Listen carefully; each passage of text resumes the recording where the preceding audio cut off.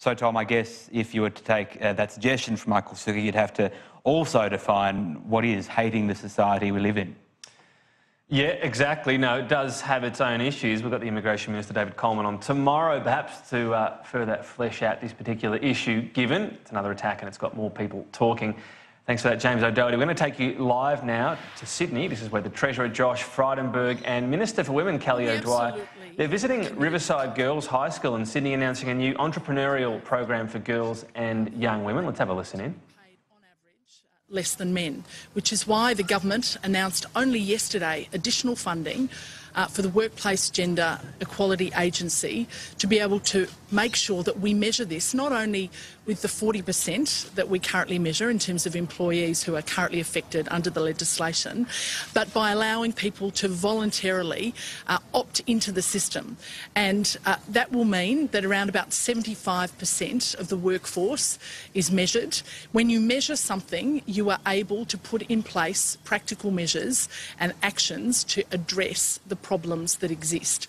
So you've got to identify the problem, uh, then look at the practical measures that can address the problem. And that's exactly what we're doing as a government. We want to provide more opportunity for women to be able to participate in the workforce. Uh, we recognise that one of the reasons that there is a gender pay gap is because uh, more women uh, have been taking on caring responsibility for their families, um, often by choice, uh, but not always, uh, because we know that it has been traditionally quite difficult for men to get the same flexibility arrangements. We have now a number of policies in place for men to equally gain access to flexibility so that they can take on their greater share of caring responsibilities, and many men would actually like to do that as well.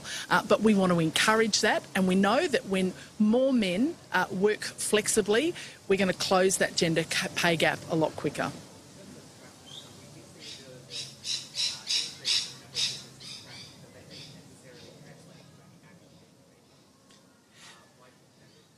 So, um, talking to Libby Lyons, uh, who is the CEO of the, uh, the, the uh, Women's uh, Gender and Equality Agency, uh, Libby Lyons uh, said that the majority of people where there is an identified uh, gender pay gap actually do take practical measures to actually address those issues, but still uh, there are quite a number that don't. Uh, we are certainly going to continue to encourage them to take action. That is precisely why we measure the gender pay gap.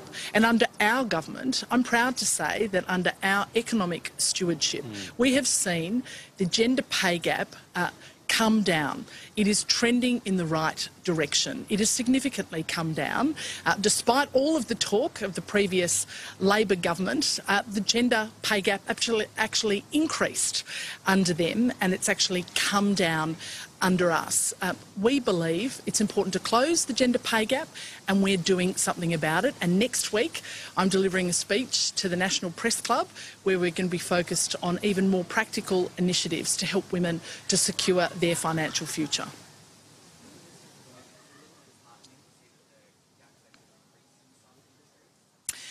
Well, certainly there are some industries, and uh, there are some industries that have a lot of women in those industries where, as Libby Lyons has pointed out to me, um, there has been an assumption that there mustn't be a gender pay gap. And I think perhaps uh, that assumption now will be very much challenged.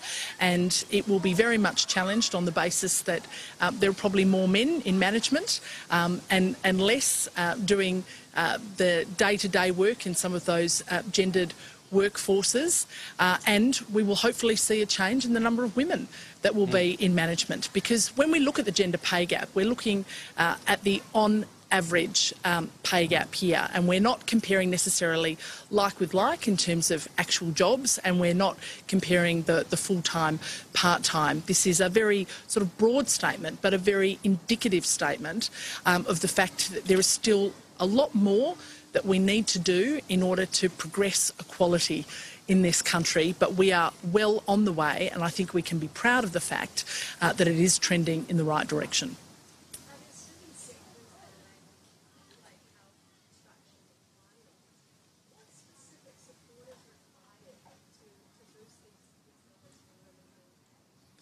Yes, so, so certainly there are a number of sectors that have been identified, um, and construction is one, um, health is another.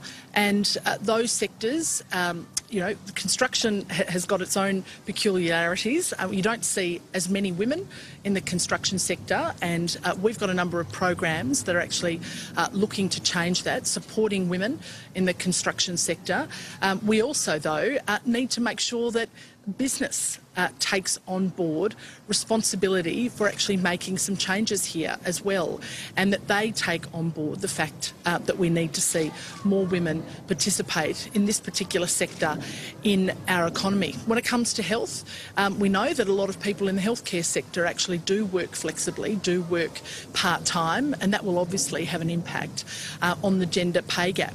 We do want to have flexibility in the workplace, but as I said, we also want men to have the opportunity to work flexibly as well, to have that choice, to have that as a real choice, so that they can take on board caring responsibilities and participate in family life and have a work life balance uh, in the same way that uh, traditionally um, has been a focus for women. And again, that will go some way to closing the gender pay gap.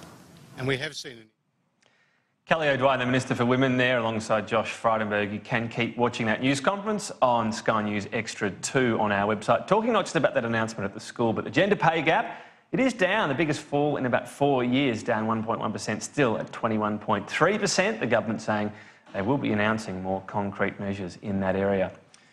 Well, former